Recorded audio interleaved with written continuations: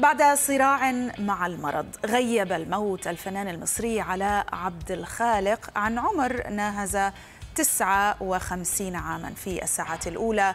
من صباح اليوم الثلاثاء. علاء عبد الخالق يعد واحدا من نجوم الكاسيت في الثمانينات والتسعينيات من القرن الماضي.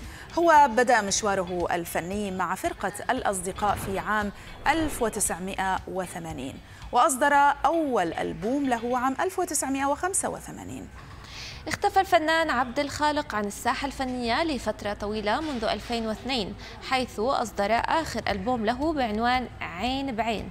وكان الفنان الراحل ظهر قبل أشهر قليلة حينما كان يحتفل بزفاف نجله.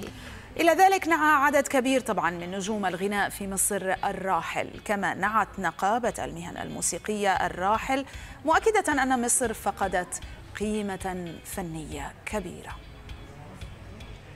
لمتابعة المزيد من الأخبار والبرامج والقصص الإنسانية والوثائقيات والتقارير الإخبارية. لا تنسوا الاشتراك في قناتنا على يوتيوب الضغط على زر الإعجاب وتفعيل جرس التنبيهات.